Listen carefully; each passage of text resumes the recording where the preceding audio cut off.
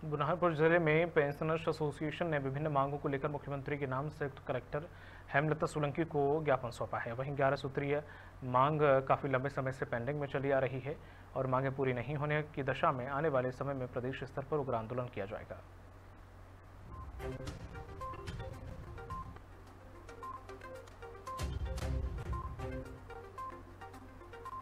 इसी प्रकार चिकित्सा भत्ता और चिकित्सा सुविधाएँ हमें कुछ नहीं मिल रही है। हम जो है चिकित्सा, जो स्वास्थ्य बीमा के लिए बार बार मांग कर रहे हैं, लेकिन हमारी कोई मांग तो पूरी नहीं हो रही है। इसको लेकर के आज हम एक ज्ञापन प्रांत के प्रांत के दिशा निर्देश अनुसार माननीय कलेक्टर महोदय को माननीय शिवराज सिंह चौहान, मध्य प्रदेश शासन भोपाल के नाम देने जा रहे हैं।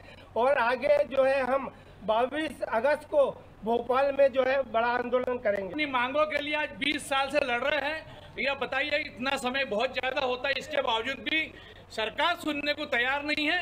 ये कहीं ना कहीं शासन हमारी उपेक्षा कर रहा है, इस उपेक्षा को शिकार कहीं आने वाले समय वो भी ना हो, इसका भी शासन को ध्यान रखना पड़ेगा।